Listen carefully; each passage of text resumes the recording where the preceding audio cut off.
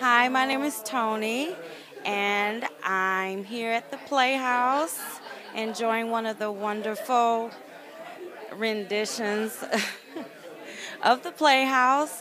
I really enjoyed it. It was something different and educational, and I love it.